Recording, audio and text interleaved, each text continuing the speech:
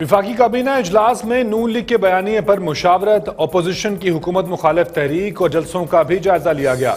विफाकी वज़ीर शिबली फराज ने ब्रीफिंग में कहा कि किसी को गद्दारी का सर्टिफिकेट नहीं दे रहे, बस दुश्मन की ज़ुबान बोलने से रोका गया है।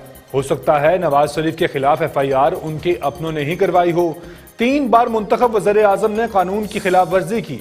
क्या नवाज़ शरीफ पर कानून का तलाक नहीं होता? सवाल पूछा जाए तो कहते हैं, तीन बार वजर आज़म रह चुका हूँ। क्या मुल्क में मुकदमात इमरान खान के इल्म में लाग कर दर्ज किए जाते हैं?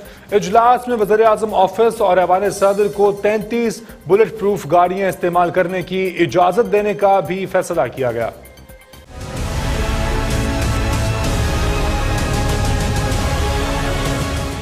अब किसी भी शख्स को जिसके के जायदादें बाहर हों, जिसकी करप्शन मानी गई हो, इस किस्म के लोगों को मैनिपुलेट करना, ये मैं बाहर के दुश्मनों की बात कर रहा हूँ।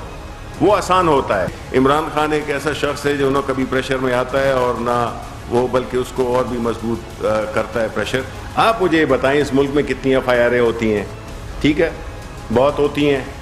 और वो प्राइम मिनिस्टर इमरान खान की कहने पे होती हैं या प्राइम मिनिस्टर इमरान खान के नॉलेज में होती हैं, उनकी अप्रूवल से होती हैं, जो बयानिया हमारे दुश्मनों का है।